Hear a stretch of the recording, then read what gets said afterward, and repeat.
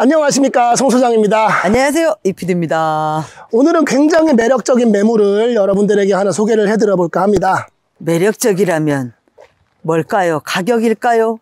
집일까요? 창고일까요? 여러 가지긴 한데 일단 매력적이라는 건 여러분들이 좋아하시는 거겠죠. 그쵸? 좋아하시는 매물 하나 소개를 좀 해드려 보도록 하겠습니다. 이겁니다. 잠시만요. 차를 따라서 요래 가보면 에? 저 돌창고요? 저거예요? 네, 돌창고가 되겠습니다. 오 도로에 바로 붙어있는 돌창고예요. 네, 그렇습니다. 가서 한번 같이 살펴보죠.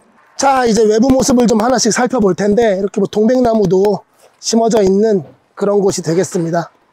여기 도로에 바로 붙어 있는 데구나. 네, 도로에 바로 붙어 있는 그런 토지입니다. 사실 요거는 미등기예요. 음. 그러면 뭐 양성화 하셔도 되고 안 하셔도 되고. 네, 그렇습니다. 현재는 등기가 안 되어 있는 그런 건축물이고 땅 자체는 대지로 되어 있어서 농취증이나 이런 건 필요가 없는 그리고 타 지역분도 매입이 가능한 그런 토지가 되겠습니다. 그러면 어찌됐건 여기 아직 건물을 지을 수 있는 용적률이 남아있는 거 아니에요? 미등기니까? 네. 그러니까 용적률은 굉장히 많이 남아 있어요. 여기 추락지구니까 100%인데 이거를 뭐 멸실하시고 그렇게 신축을 하실 수도 있고 요거를 양성화해서 그만큼 건폐율을 잡아먹을 수도 있고 그거는 뭐 여러 가지 방법이 있겠죠. 선택해서 하시면 될 것 같습니다. 제가 주위를 한번 잠깐만 돌아볼게요.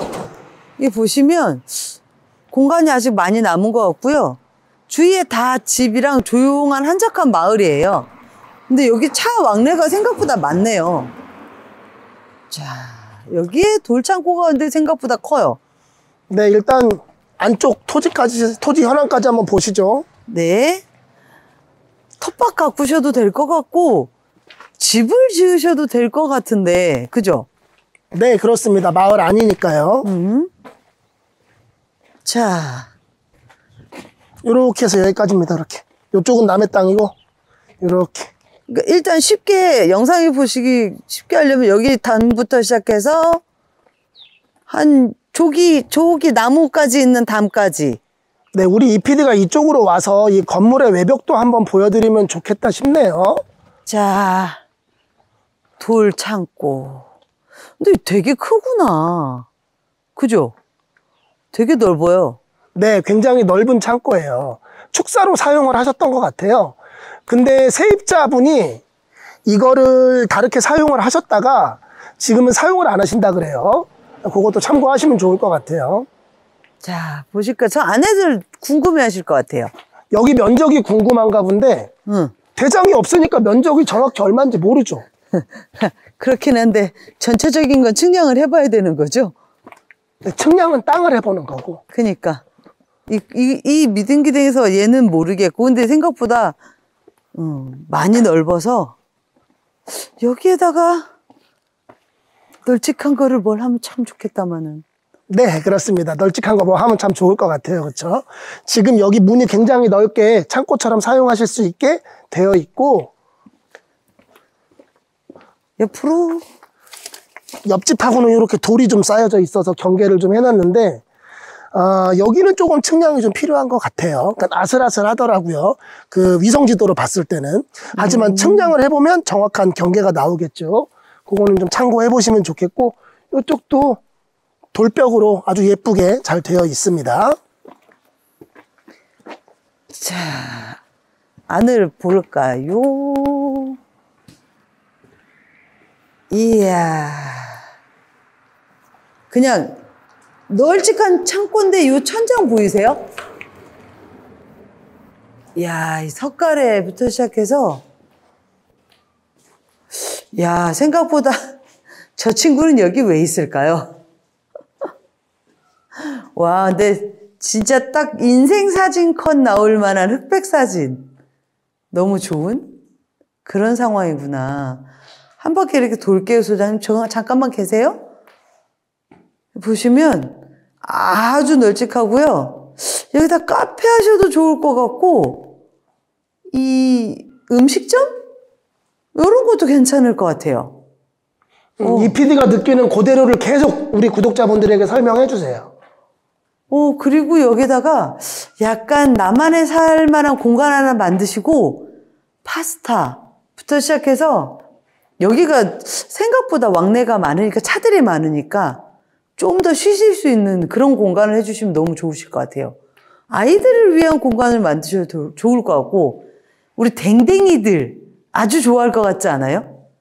너무 좋을 것 같아요. 동물하고의 그 교감할 수 있는 그런 위치, 그런 쪽으로도 해보셔도 좋을 것 같아요. 소장님? 네. 다 좋을 것 같습니다. 우리 이 PD가 얘기한 대로 그런 것들 전부 다 하셔도 좋을 것 같고, 제 개인적인 의견을 말씀드린다고 하면, 어쨌든 현재 여기가 미등기죠. 주택수에 안 들어갑니다. 그러니까 그냥 이 상태로 내부를 좀 인테리어 하셔서 세컨하우스처럼 꾸미신 다음에 다니시면 얼마나 좋을까. 그런 생각도 들어요. 굉장히 고즈넉하고 예쁜 옛날 모습을 그대로 잘 갖추고 있는 그런 모양새니까 그대로 사용하신다 그러면 뭐 주택수에 안 들어가는 세컨하우스도 가지실 수 있고 돌집도 가지실 수 있고 다양하게 사용을 하실 수 있지 않을까 싶은 생각도 들고 아니면은 방금 이 PD가 얘기한 것처럼 여기를 양성화를 상가로 한다 그러면 어쨌든 주택수에 안 들어가니까 그렇게 사용하시는 방법도 있지 않을까 싶은 생각도 듭니다.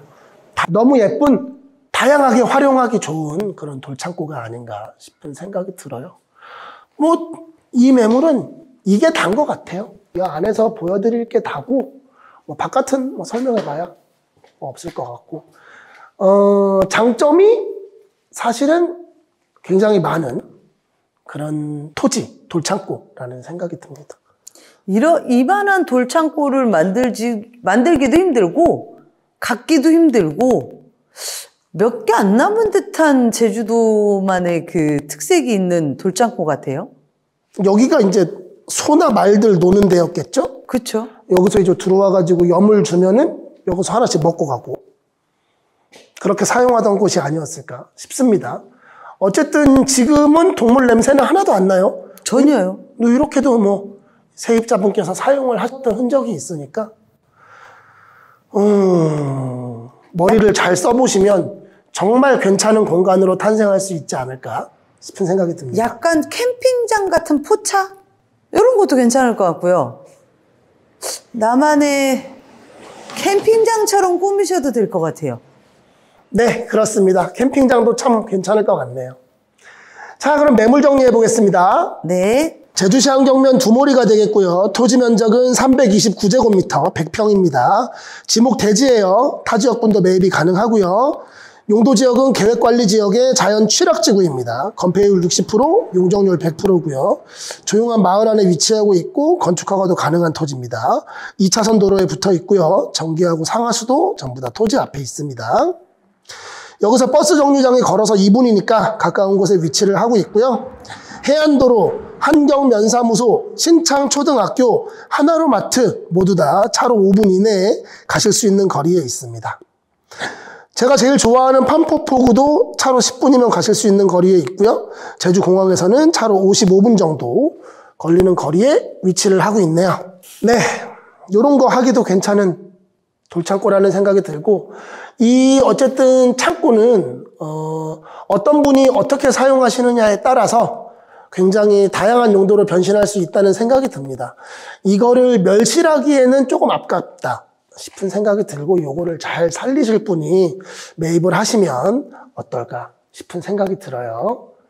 어, 화투장 하나를 여러 사람한테 줘도 다 다르게 달인들이 된다 그러죠. 어떤 사람은 화투장을 잘 날리는 달인이 되고 어떤 사람은 한 손가락으로 잘 부러뜨리는 사람이 되고 어떤 사람은 타짜가 된다고 합니다. 어, 떤 사람이 어떻게 고치느냐에 따라서 굉장히 변화무쌍한 같은 재료라도 변화무쌍한 그런 건물들이 되곤 하니까 이런 건물들 어, 아주 괜찮은 분이 잘 매입하셔서 쓰임새 있게 쓰셨으면 좋겠다 싶은 생각이 듭니다. 더 자세한 궁금증이나 문의사항이 있으시면 저 송 소장에게 연락을 주시면 저 송 소장이 아주 성심성의껏 친절하게 여러분들에게 답변을 해드리도록 하겠습니다. 지금까지 제주시 안경면 두모리에 위치한 미등기 돌창고가 있는 대지 매물을 소개해드렸습니다. 감사합니다.